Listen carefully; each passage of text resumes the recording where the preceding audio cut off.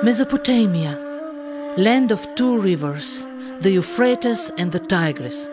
Descendants of the ancient cultures are Syriacs, Aramaic speaking Christians.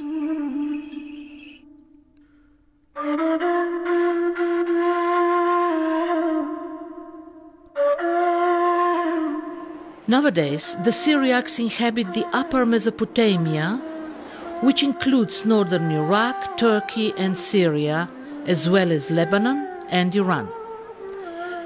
At the end of the First World War, after the downfall of the Ottoman Empire, their life experienced major change. The newly defined borders divided their population into different states. This is uh, a village in southeast Turkey. It's a village of Midyat. Name of village is uh, in Syriac and uh, in Turkish they call it Gulgöze köyü. Zeki Aydin has lived in Stockholm for 26 years. There he's doing his best to preserve the Syriac language and identity among his compatriots. And now in this area, uh, I mean, all we call Turabdin. Turabdin is uh, area where, where include Midyat and all the villages which are belong to Midyat. We call it Turabdin. That the meaning of Turabdin is Syriac is the mountain of servants of God. So that's the Syriac word. Uh, actually, uh, now all together we have around uh, uh, 2,000 people. The first persecution of Syriacs took place immediately after the First World War. Turkish nationalism was reinforced by tales of suffering refugees from the Balkans and Russia. Turkish neighbors attacked Syriac villages. Aynwardo was among the few where the villages decided to defend themselves. After two months of siege, a ceasefire was agreed. In the 1970s, 40,000 Syriacs lived in the area at the outbreak of hostilities between Kurds and Turks, they found themselves between the opponents. Villages were left without protection, and most Syriac families emigrated. Syriacs speak Aramaic, the language spoken by Jesus himself. That is why they became acquainted with his teachings very early and adopted Christianity. Since they lived in the east, outside the borders of the Roman Empire, they were called the Eastern Christians. Around 100 AD, the Eastern Christians were joined by a part of Jewish Essene community at the Dead Sea. The Syriac Christians who read the Gospels in the original Aramaic accepted the Essenes translations of the Old Testament. Syriacs are fond of telling their legends, which are full of wise bishops and saints that were peace loving ascetics who knowledgeably distinguished between good and bad. Some of the legends link the Syriac history to the life of Jesus. In the little village of Hah, there is a Mother of God church built by the three kings on their return from Bethlehem, where they paid homage to Jesus in the crib. ونشمة بنيامين بنيامين أيضا وملفونو ديقريثو تحاح. وكتلان بيقريثو لفت من حصر يقروثو. وكتلان عسريو اللي فت كوثن اللي ما درشتو وعمراثي بين حمش والحمش حصر شنيني. بوثر متكون نفقي مو مكتب دو تركي كوثن لركي اللي ما درشتو كوم قرينا أولي شونو سريويو. هناك سعد لو كذ عيوا أيوة أولى شنو سريو آه، إذا بيذا آه، كم الفينا نرد أولى شنو في أولى هو وهناك استعال كذا يول صيوثو دولة شونافي ما خاصة زد كبعد يول في أولى شونان دثي وإحنا استيك هوينا نمورو زد ترد قدرنا دملفينا أولى شونان دثي ويم هويو There is a long history of education among the Syriac. In the town of Nusaybin, just off the Syrian border, The Archbishop of Mor Yokup, and the poet Afrem established the famous Nusaybin school as early as in 325. Lessons included philosophy, law, theology, astronomy, and medicine. It was as early as in the second century that some Eastern Christians decided upon a hermetic way of life. Soon afterwards followed the appearance of monastic communities led by spiritual teachers who blessed the endeavors of the monks. Hermits held a unique attraction. They were visited by pilgrims from India, Greece, and Rome. From the golden age of monasticism in the 5th century through the 13th century, individual monasteries in the upper Mesopotamia housed a thousand plus monks. The monks left for the east among the Turkish and Mongol tribes of the time, as well as to India and beyond it to China. Uh, the St. Eugenius Monastery is the oldest monastery in this area. It is built in the 4th century between 320 and 363. Uh, In this monastery, there were thousands monks living here, praying here, fasting here, servicing the people here. So they preached the Christianity here in this area. So uh, Saint Eugenius was called in our tradition the second Christ because if we are looking to his deeds and we compare it with what our Lord Jesus Christ did, uh, they looks like. So for us, Saint Eugenius is the second Christ. Uh, and this monastery was also in the history called the second Jerusalem.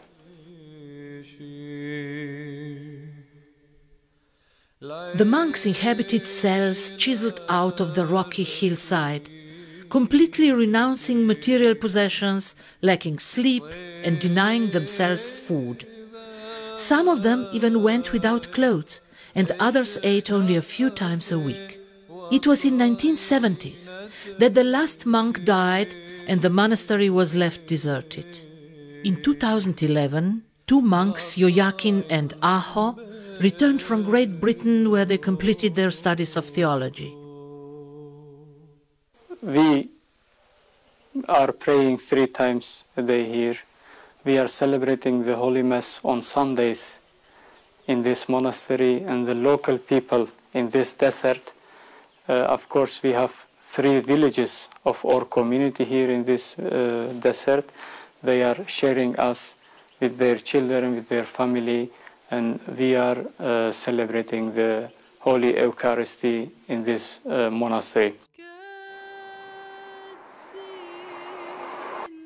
By the side of the arterial road leading from the town of Midyat to the east lies Saleh or Barıştepe, today's largest Syriac village. Most inhabitants make their living from farming.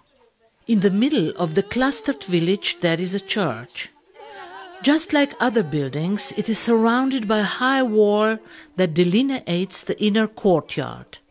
The villagers gather in the church several times a day, since Christianity and the Aramaic language form the basis of the Syriac identity. ონოყაშო შამგან უკოჰნო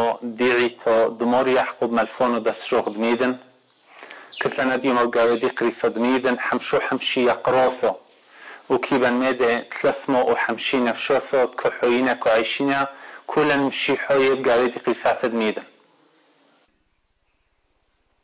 Although nowadays most Syriacs from Turkey are displaced all over the world, they continue to regard Upper Mesopotamia as their homeland. As witnessed by the written records in Aramaic, their churches have stood here for 2000 years.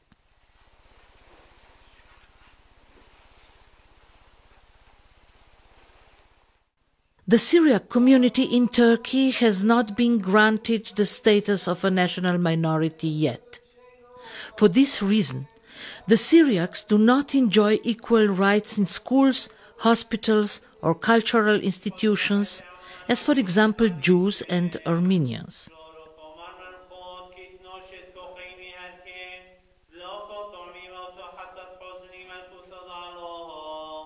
The year 2012 saw the establishment of the Syriac Union in Turkey that interconnects seven associations in the territory of Tur Abdin.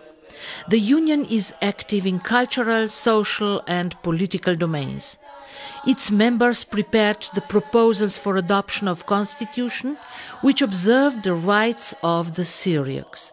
They cooperate with other civil organizations and churches and act as a partner in dialogue with government institutions.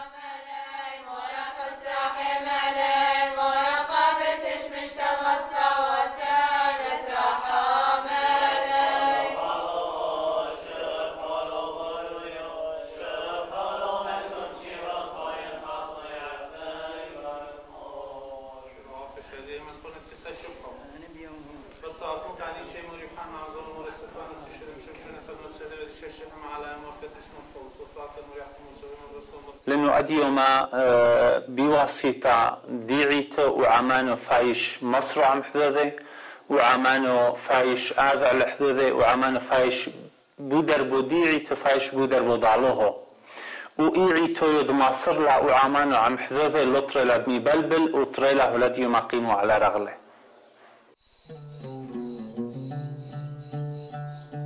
The famous monastery Mor Hananio lies in the vicinity of the town of Mardin, the administrative center of Tur Abdin. The monastery encompasses several churches and a crypt containing tombs of patriarchs and bishops. Near the altar of the central church, there is a beautifully carved throne of the patriarch. It is here that the official patriarch's seat was between 1923 and 1932. تركيا مقدم ومقبل روحية ترك وهنو هانو لا تيشرورو. يعني نوشو ما سريو لما قبل روحية كتيو ترك.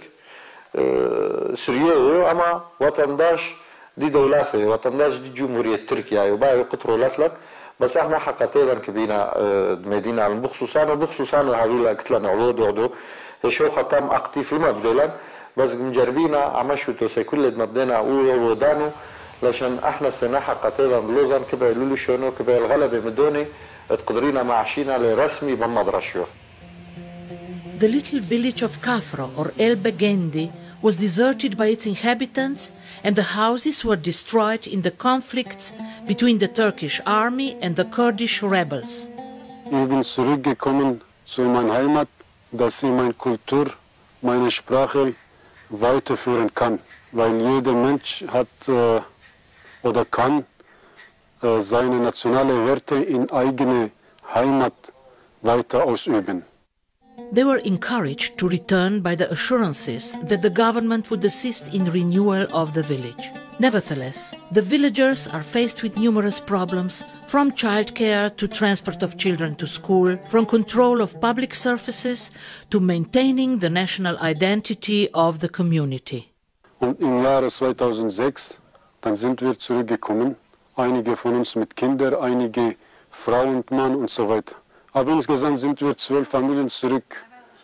Wir sind jetzt im Dorf zwölf Familien, so um die 40 Personen. Aus Deutschland, Schweiz und eine Familie aus Schweden. We need uh, to be equal with everybody. That's we don't want something special for us, only to be like others.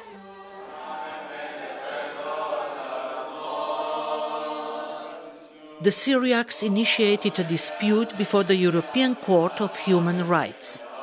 In spite of some declarations to the effect that the position of minorities and their institutions in Turkey is to improve, in 2008 and in 2012, the Turkish court confiscated a large part of land of the monastery Mor Gabriel. The monastery is a spiritual center of Syriacs in Turkey, which sustains the flame of Syriac Christianity. It is also the seat of Timothy Aktas, the Archbishop of the Syriac Orthodox Church.